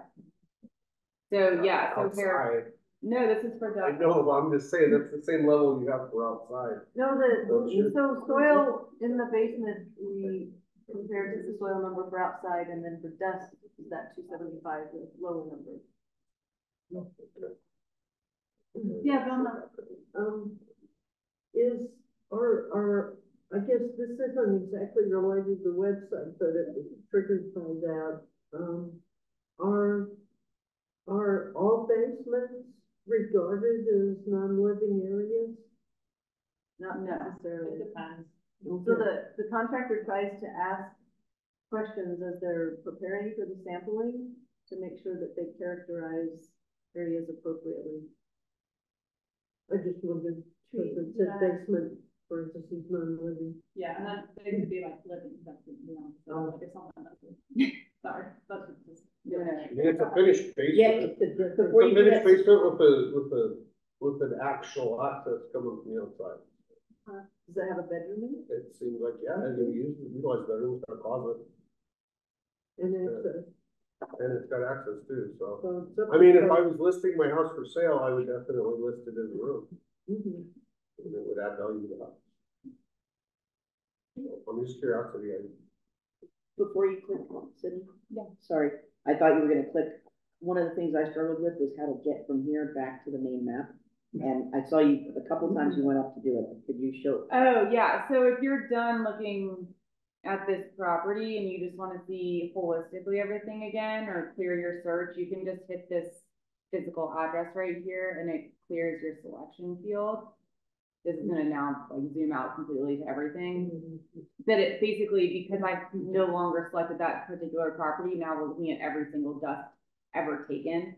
I'm gonna put us back to like the main homepage of properties. I know it seems simple, but I.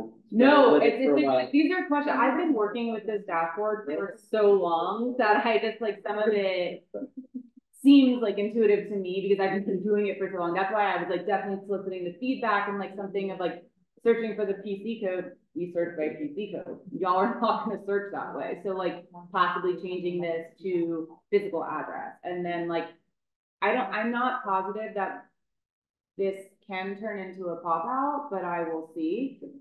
Um, but at least now you know you don't have to like zoom in to try and find, you can like this, but that's like so cumbersome, like I don't. I don't know if I've doing it before, but earlier when we were, it would let you pull the map up higher, not letting, letting, like the whole, that, the whole page would move up for the map. I, yeah, for some reason it's not letting I me know. scroll. So when you do that, it makes that map more Yeah. usable. And it wasn't doing it for me You either. See, so sometimes it, yeah, um, but these are definitely things I can look at. I mean, if, I can see if they can pop it out, but I will say the easier way to do it is to search by the physical address right here.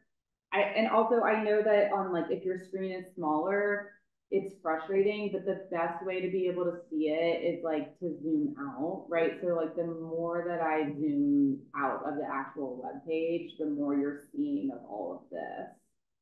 So that's just something I can't control. That's like, I like my web pages zoomed into, so I'm not like it stuff, but I think if, if like with the default of a hundred, like you can't really tell what's going on here, which is very unfortunate.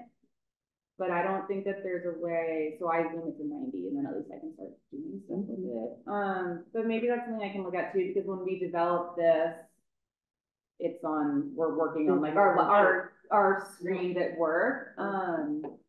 So maybe if I can set the web page to be a little bit smaller, but I can't promise that. But knowing that, it would also help. yeah, and that's why it was definitely like, I need people to be like working with it, cause like when I'm at home and when I'm working with the person developing this, like we're working on thirty-two inch screens and everything like looks great, and then when you come onto a laptop or a tablet or something smaller, it's like, oh shoot, this isn't working correctly and it's too hard to understand, uh, what's going on. So Nancy, retreat, if you have a comment question now, Amanda. I just, you probably won't be able to answer this, but possibly, would it be, would we be able to just have one map and then filter it to show either soil or dust?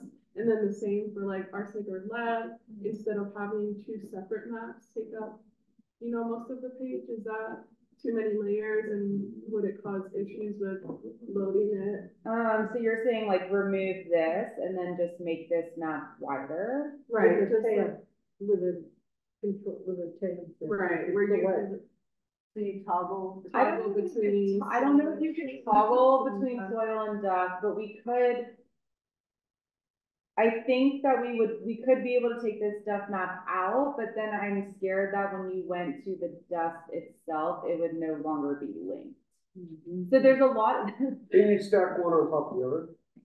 like as a layer, that's what I'm wondering. I'm not sure. There's so many things competing there. I mean, not even as a layer, like, you go further down the page and there's. Oh, you're saying instead of having them side by Yeah. side, like change the layout of the web page? Mm-hmm. I think that could probably be an easier fix. I don't know why it's won't let me scroll, but y'all should be able to scroll. No. No. I don't know. Never scrolled, it never scrolled for me. Right, oh, interesting. And Scrolls on- nothing- it scrolls when I do it. This is- this is exactly why I need it. Okay, so maybe, maybe that's the better solution here, because having, instead of getting rid of one, instead of having them side by side, is just having them toggle. Um, okay. Okay. Yeah, yeah, yeah, yeah, yeah. So what I'm hearing right now, the main things are possibly change this PC code to say physical address. Um, change these to be stacked so that they can be a little bit bigger. Um, and then is there any like, anything else that's jumping out super really unuser friendly? Yeah. No, not an issue with it. Um, do you guys have a timeline when that would be live for the public? So we were planning on releasing it like by the end of this month. Um, the person who developed this is no longer in our, in Colorado. She's now like working for our San Francisco office. So she's agreed to continue helping develop this until like we can get these last little things worked out. But yeah, I am hoping to get this out by like the end of the month. So that's why like any and all feedback. Um, these are these are more coding issues than like search issues. So before we weren't releasing it because there were issues of like, you know, when someone was renting a home, it wasn't matching up properly with the address. So those were things we didn't want it to be released for. Things like this where it's purely cosmetic, I think I'm okay with releasing because the data is correct. And I think it'll be helpful. And, you know, I'm, once it goes live, it's not just, like, once it goes out to the general public, it's not to say that if you guys find things that are like super not user friendly, that I can't try and go and fix that stuff. I just wanted all of the data to be correct and like the main aspects of it for y'all to understand and make sure it's showing like what you wanted for it. Um, so I'm hearing that it's kind of doing that, but just some minor changes that make sense completely to me. I just need to work with the person who codes because I do not code. And Sydney, I think people in general. thumbs Yeah. up on this Awesome. tool, really. Yeah, and I hope this is helpful. What's really cool, like even with this cleanup required one, like wh- mm-hmm. when you can, I don't know why it's switching, but like when you can scroll over, it even tells you like Paga is a play area, garden area, so it tells you like this was the only part that needed the cleanup here. Or if there's other ones, like here, this says we removed soil to twelve inches, we removed soil to eighteen inches. So it does give you like a granularity that I think people would really appreciate. I do, just from a science background, I think that's cool to see.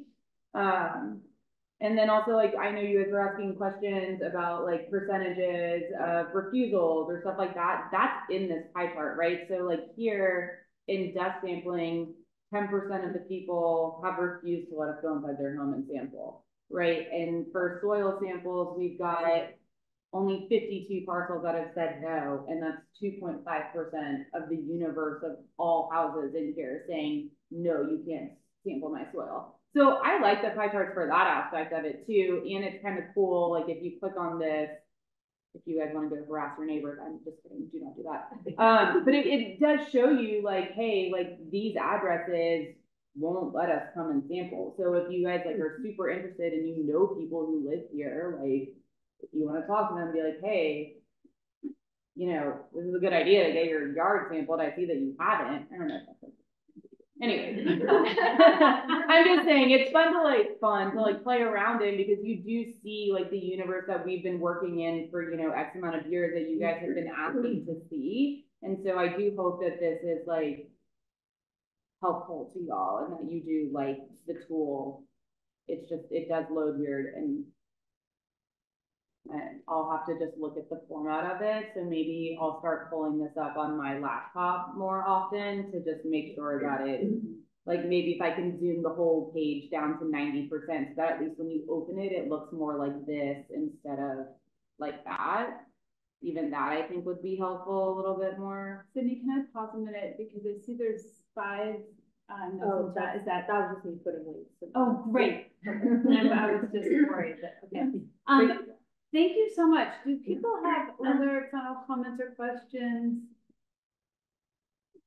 And if y'all Um, have like, sorry, if y'all have like specific questions that you're just like, I can't figure out how to do this one thing, like, just shoot me an email and I can like hop on a call with y'all and try, or like, you know, like, and just try and walk you through that aspect of it, cause it, it is like, it's, until you're in it a lot, as with any webpage or any like technology, like it, it's hard to figure out. So I'm more than happy to help you guys, like to hop on like a Zoom or a Teams or something and kind of walk you through. And if it's something I can't figure out either, like I need to know that, right? And so that I can bring it back and be like, what's going on? Why can't I figure this out either? So, and so I assume people can get your email before they leave, or feel free to email Beth or me, text us, text Would me. we blasting out the, The the link. link again, since Yeah. it's buried on these? I think we can put it in the notes as Yeah. well. Yep, and I am happy to, I, I'll put it in the notes and I can send it to you all on the steering committee again.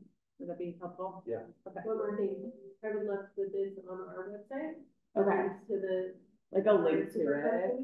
Once it goes public, right? Yeah. Yeah. Will you guys give us the green light? Yes, yeah, so once we release it, we'll send out an email to y'all, Yeah. be like, hooray, it's out, and then. Okay, y'all perfect. Well, that might be a big push too, to get people to Yeah. pressure their neighbors. Right, right. That didn't come from me. Trouble her. Yeah. Well, we've been we've been begging for that tool for a long time. Yeah, but I think We're it, gonna make use of it. I think Sabrina needed maybe. We'll put blame it on on you, site. we're gonna get it. I, I would love to put it on the site as well, too, but, um, to have some redundancy, and sometimes people get frustrated with the EPA page, if we're still able to share things with the state page and exit to the state, also exit to local, Yeah. that would be great. Yeah, so I, I think, I mean, one, that we got the approval of public facing, so I, I don't see why you guys wouldn't be able to put it on your respective pages so that people don't have to be like going through the, you know. Well, and maybe in February, we can have a short agenda item just to, since at that point it will be public, mm-hmm. maybe brainstorm if there's other places you all can see it would be useful to publicize it. So mm-hmm. maybe I'll just put that on the agenda as a second. And I know Bob, you volunteered to like send out to your network of people, we'll be getting out to realtors and Okay. stuff, so when we do roll it out, Yeah. I, I wanted to get it as like mm-hmm. far and wide as we can. Okay, I'll put that on the agenda. Yeah, just one more comment in the same vein. This has been discussed as the piece that will, and this has been discussed as the database that will inform the city as well for institution controls. So it's likely that it will be on city county planning as well, so that you can search your own property. So that's another place eventually that it could be. Cool. Um, city city county planning or wha- however that works, do they often, um, cross-link to assessors pages too? Yes.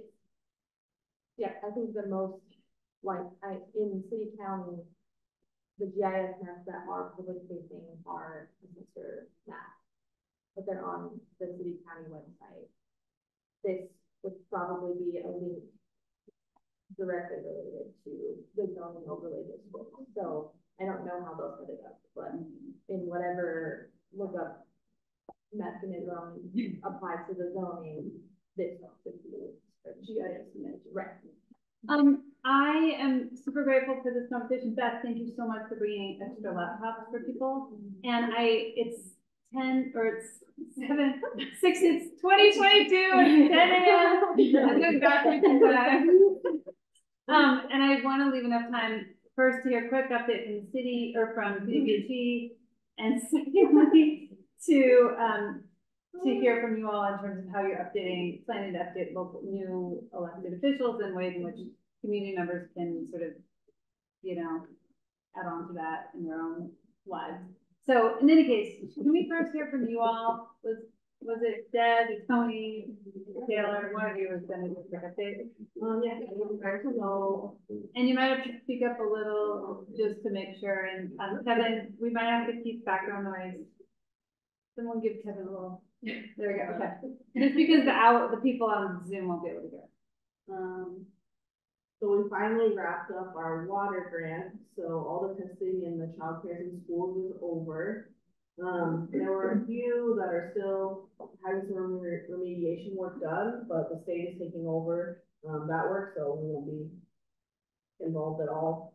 Um, so those few ones, they either they tested high and the first remediation plan didn't work, um, or they tested high and then it was just, we couldn't get to them, and so they still need to do the initial remediation. Um, yeah, so it's really exciting, worked on that for two years, so. That was two years? Well, Like a year and a half, yeah. Cause it started October, um, not twenty twenty-three, but twenty twenty-two, Wow. yeah, Congratulations, that's so yeah, a lot that went into that. A lot of early morning. Five a.m. Yeah. Yeah. So- Wow, Tony. And that was Pueblo countywide, right? Yeah. Mhm. All the schools and child care, including the home childcare. Initially.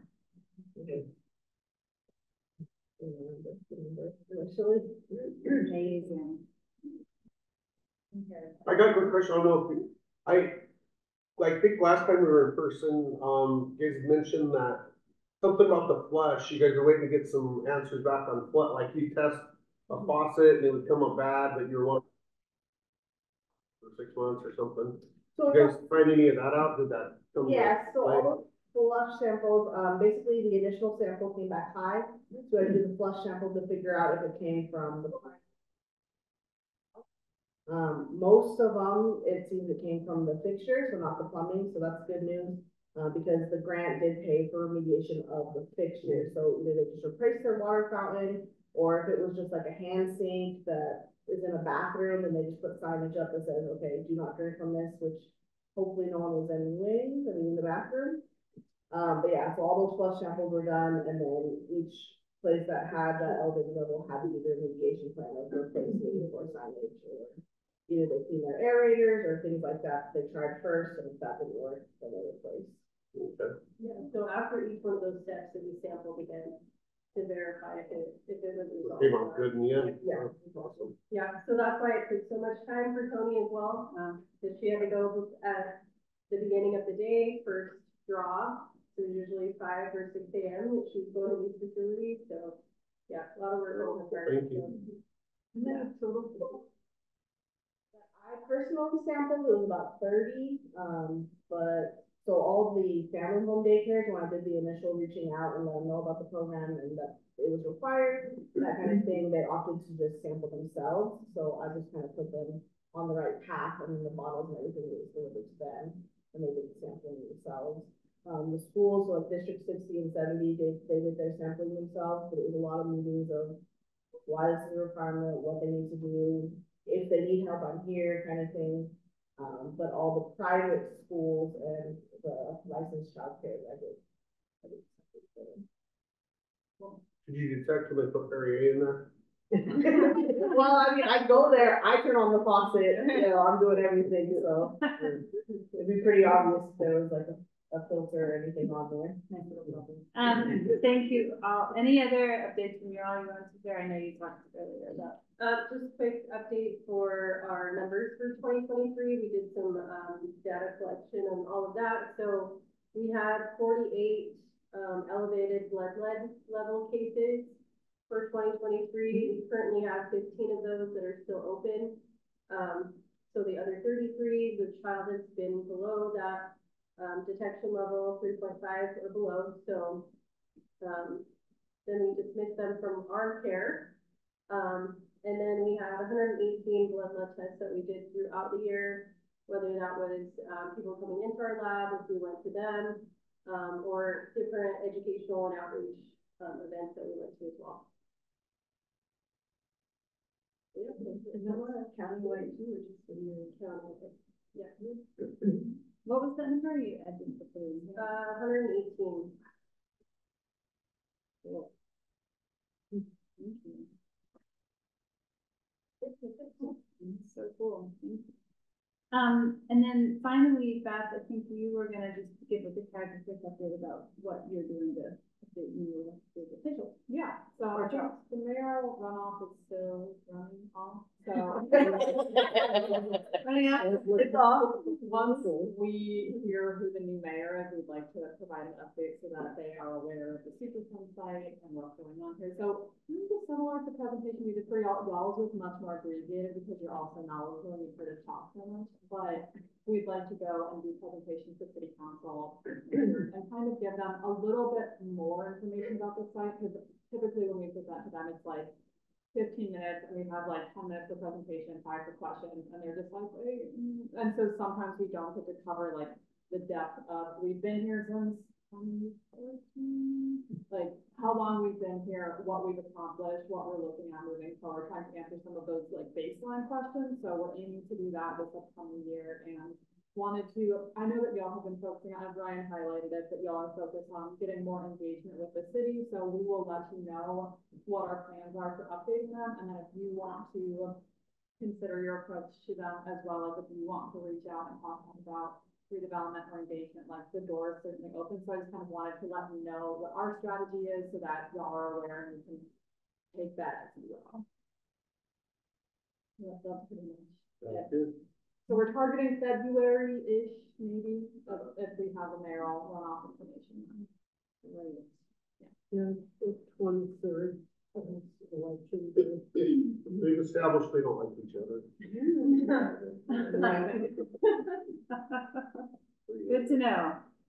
Um, okay. The intent of that too is also to highlight this, these events, the CAG of, you know, stuff that we're doing, you know, the pure, all the stuff that we're talking about in here to highlight that invite them as well. So that's where I think what, you know, we can get from help after that comes like, hey, I know, we know that you, the EPA presented with you, to you. We know they gave you the history of the site. We know that you, we saw the slides, you're gonna see the slides. We saw the information presented.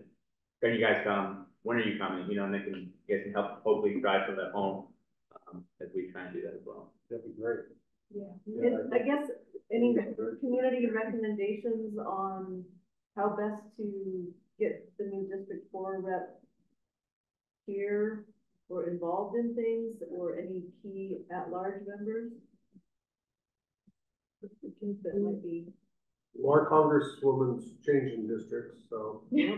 The, um, the District Four now. Uh, I'm Terry, speak the sunset. I don't know, I don't remember the name, but yeah, I- I know. it. Yeah, It's a new person. yeah, it's a new person and I, I live in the district, but I think it's mm, I'm sort of a Freudian slip. I can never remember the name of who's representing me now. But yeah. Well, we can put, I mean, I don't know, if you all wanna, we can have an update in, again, in February to, you know, Yeah. here, if, if and when that's happening, that kind of update is happening, and you all can do any brainstorming you wanna do. Sure. Okay. And if, I guess my, my thought on some of this too is that because we often get such a short time with city council updates, that if, if we want more time, that we are tag teaming and you guys also get yourselves on the agenda. Okay.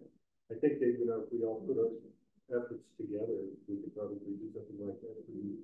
record it, so it didn't show. Okay. I'll put it on the February agenda. Um, so Herrick and Velma, you are making it hard for them. No problem. Call out.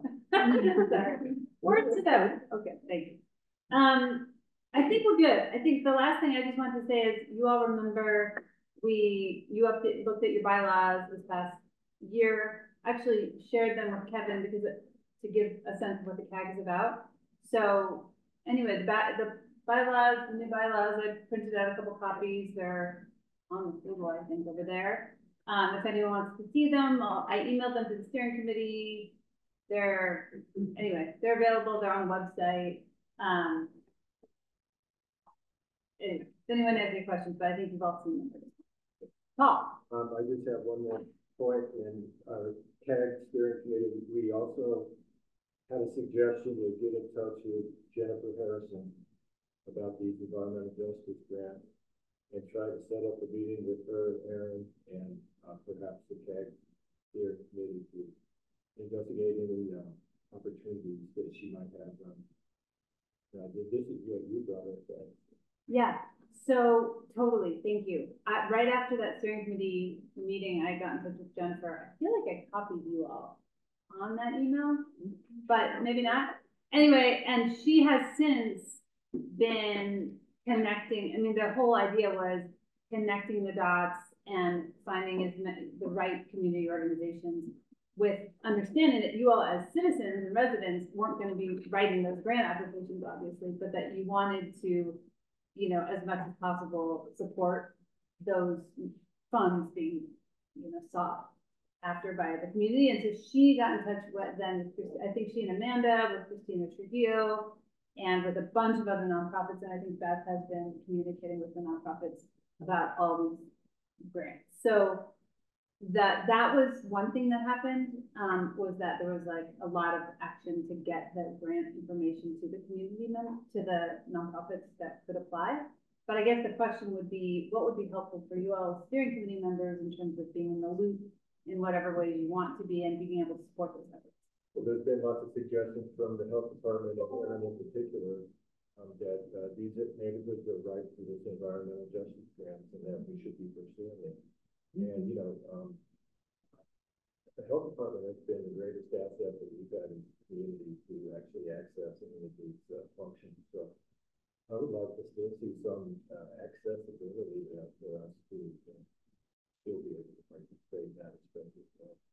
For for you all as steering committee members and to Well, see the help. that's just my own personal feeling, I'm not sure if everybody else agrees with that, but, you know, by passing off and disenfranchising the CAG, Yeah, it doesn't seem as very effective, You might not even wanna be here if we're not gonna have a voice or have any participation. totally. Yeah, I think it was, um, a really frustrating and unfortunate thing that, like, Dorina was able to do so much work and Lexi before her to help, and then the, those folks needed to really focus on health department related objectives and different priorities their management identified for them. So the next, like, the fallback was Neighbor Works here applying for a couple different grants, and they weren't successful. And so Yeah, I think if that's, was the kind of enabling staff that they could devote to this, uh, community effort that we're making. But I think their overall objectives still remain the same as far as the community goes and enfranchising the community to be as effective as they can with the revitalization and, the, uh, you know, mediation. Yeah, and if I understand the issue, this is a classic problem in our town, is things get siloed Yeah. and then fall between the cracks, and so they don't get done, and frankly, that's one of the things that we would always try to do is, you know, try to get somebody at the two local governments to take a global look at the grants that are available, which types of grants, which agencies or governments might be able to tap into, and kind of have a global plan. And it sounds to me like we, we're still suffering from that, frankly, that, uh, money is on the table, it's being lost. Yeah. Simply because we don't know who to say, go get this. Or, you know, a lot of times a nonprofit will look at it, say they don't understand it. And so somebody can help them, and I think that the city has a, um, as I understand it, has a specifically designated grant writer. And maybe that's the place for it, I don't, I don't know, the the lady that was in it left and went someplace else, I don't know. I'm not sure they still have those. Oh, okay, but see, that was the trouble with the county, is one thing we're, that we were trying to do. And, uh, you know, and it- there's always screwball things that keep it from happening, but that was the idea, was if the city had that and the county had that, and those two people talked on a regular basis, none of these grant monies would fall between the cracks. Well, And I think it still is. I think so too, and, you know, I, maybe perhaps with a new mayor or the mayor gets reelected, whatever, we could impress on him the, um, kind of pressing need for that kind of cooperation. Yeah, and the thing is, is, you know, one of the things that over the years, working with the, the, uh, public health department is management of the health department would say, well, you know, we can only accomplish so much with how much money we have. So here are the four things. Are we taking on more? If we're taking on more, we need to add more money. And so there's some strategic decisions that are going on there.